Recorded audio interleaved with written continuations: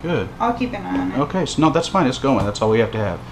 All right, we're going to give you a nickname. How about we call you Amazon? Is that a good nickname? He's like, I don't care. He's a little bit nervous. Amazon, you're having some pain in the back here, aren't you? Why don't you tell us, uh, tell us what kind of pain you're having? Yep, kind of radiates across, right? Yep. It's worse at night.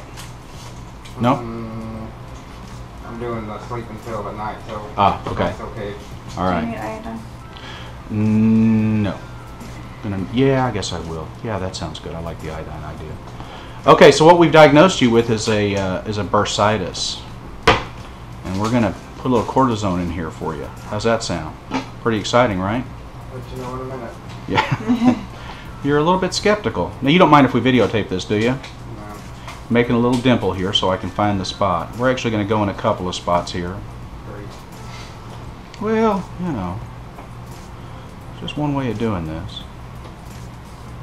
There we go. We're going to angle in. You ever had anything like this done before? Nope. I need hand need gloves. That was your own fault. I know.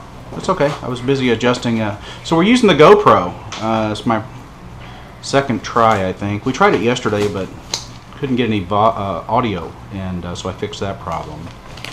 So now we've He's got just not audio. that smart with the with the electronics. I'm really not. I'm kind of a beginner. Thank you. trying to hold my head still. So we're going to kind of paint this area up a little bit here with some iodine. uh, alcohol pads. I'll just give it another one. Uh, So, is there a what causes this, or is it just Inflammation. You could have been doing certain kinds of work. Okay? Don't squirt it on me. Thank you. No, I don't want to get it on me. Doing three? Well, three little spots. Yeah. Okay.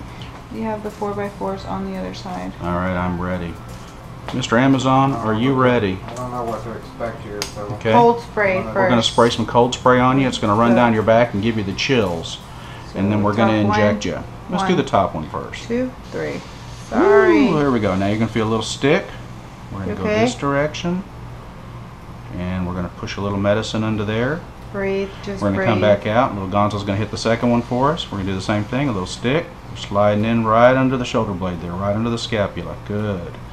Now we're coming back out. We're going to get the third one. Two, three. And right in Just there. breathe. And we're going to do the same thing there. Good. And we're done. You're done. How was that, bud? Not bad. Wasn't too bad, was it?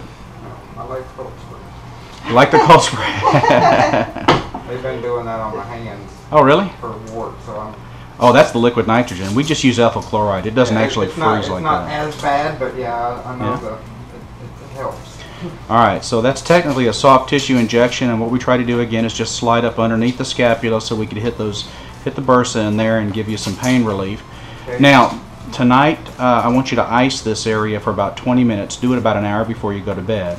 I'm going to give you a prescription, you know, for some pain pills like we talked about and things like that because this doesn't always work. You know, it's it's it's fairly reliable, and I think we did a pretty good job of getting into the right place there. So, I think you got a good shot that uh, tonight it's going to feel better, and then uh, maybe maybe 60-40, and then by tomorrow night maybe 70-30, and then by the next night maybe 80-20. All right. It, is this something we treat and it should go away, or is this a once you have it recurring, or no, they don't know? That's a great question. This should be a one-time deal, unless you're performing some kind of activity that's particularly difficult on this part of the body. Most people, this is not something that continues to return. All right. Cool. Good job, man. Thanks. Hey folks, it's Adam from 911 and today we're taking a look at Meta 7. I've been taking Meta 7 for about two years now and it really, really boosts my metabolism. It gets my day going, kind of like the effects of caffeine, except without the jitters, without the heart palpitations, without all the negative side effects. Now you're gonna wanna take Meta 7 for a week or two before you really notice a difference. But if you're looking to lose weight and feel better, I'm a big fan of Meta 7. Go ahead and try it today. If your diet isn't what it should be, if you're getting headaches, if you're getting tired in the day, just not having the level of energy you did when you were young, Meta 7 can help boost that. Boost your metabolism. Check out Meta 7.